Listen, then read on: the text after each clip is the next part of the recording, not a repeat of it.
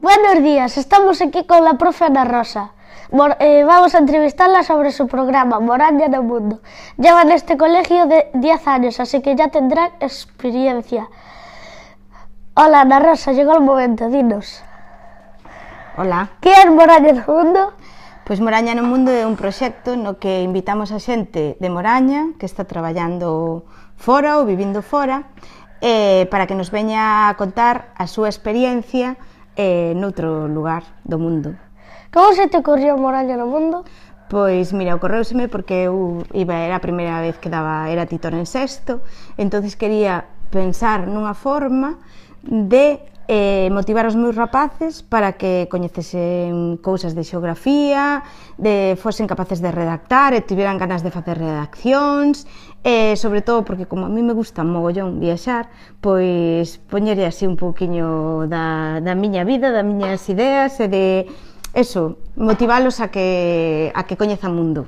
Que objetivo tiene para o mundo? Pois eso, un pouco globalizar todas as asignaturas eh, neste, neste proxecto. Pois temos eh, ciencias sociais, temos cosas de ciencias naturais, porque moitos do, da xente que ven, pois algúns son investigadores, hai biólogos, eh, hai enxeñeiros químicos, e tamén pois facer lingua e lengua porque teñen que facer entrevistas e despois facer unha redacción sobre a entrevista que lle fixeron, sobre esta persoa, pois matemáticas porque a veces tamén calculamos pois canto costa vir dende Islandia desde Francia, cantas horas tarda en que viñeron, cantos medios de transporte, entonces así un pouco aglutinar todo e facer así un pouco a ensinanza un pouco máis motivadora.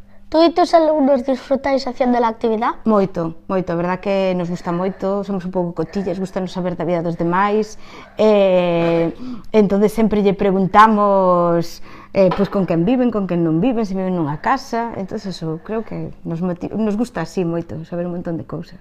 Quantas persoas acudiron a tu clase? Pois mira, neste momento creo que sete. Pois mira, viñeron dende Holanda a Beunoa, dende a zona de Alsacia en Francia veu Marina, de Ginebra viñeron Roque e Marisa, de, do Reino Unido, que estive alguén que estuvo no Reino Unido, en Irlanda estivo Iván, de Islandia estivo Ernesto, de Alemania, da zona de Baviera, estivo Óscar, e tamén veu Anxo que estivo traballando era en, en, en Venezuela en, en Reino Unido tamén. ¿Te cuesta mucho convencer a la gente para que venga? Pois mira, ao principio sí. Todo o mundo está un pouco así nervioso, a xente maior máis porque pensa que ten que dar unha conferencia ou algo, pero nada, porque como é unha, unha entrevista así guiada, pois só teñen que contestar as preguntas. Mira, eh, conto vos que Noa é ingeniero químico e ademais é doctora, xa, xa fixe un doctorado, que é super difícil, traballou en China en mogollón de sitios. E entón, Noa decíame que era a súa entrevista eh, para a que estaba máis nerviosa, máis de dar un do, a facer un doutorado e facer outras conferencias que esta que lle resultaba que estaba moi nerviosa, pero despois cando veñen aquí marcha todo o mundo encantado. Bueno, gracias por atendernos. Chao. Chao.